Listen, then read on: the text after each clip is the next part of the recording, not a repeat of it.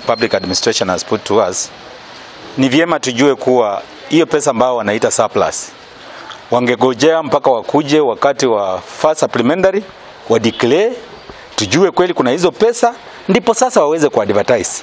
Lakini hamwezi advertise kazi ili hali mnataka kutumia pesa ya gratuity ambayo mmededuct kwa huyo memba mwenye anafanya kazi anapomaliza kuretire, na kuna watu wanaretire kila mwaka, kuna watu wanaretire kila mwezi. Sasa tunapotoa hizo pesa ili tupeane kwa village administrators, yenyewe pesa yenyewe haitoshi, kwa sababu unapoangalia kufatana na job group hawa watu hata hawako advertise job group ya wafanyakazi itakuwa gani.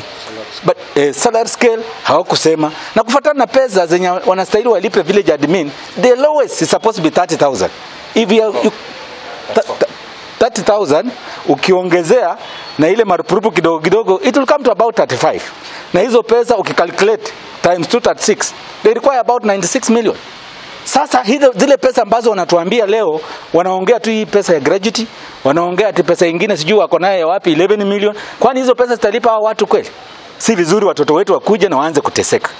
Cha pili, tunapoongea kuwa tunataka tuajiri village administrators, hatukatai, lakini kufuatana na pesa ya bajeti yenye tuliwapatia 2018 19 hii pesa walipeleka wapi? hawajawahi sema. Sasa saa hizi hawana pesa, wanajaribu kuplease, wanajaribu kuplay PR.